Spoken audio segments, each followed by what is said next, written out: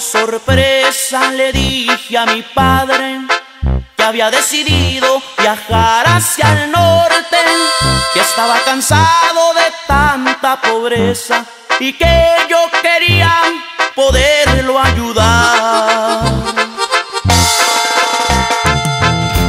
Con mucha tristeza me dijo mi padre, hijo no te vayas, no me dejes solo, ya estoy muy viejo, tal vez cuando vuelvas debajo de tierra me vas a encontrar.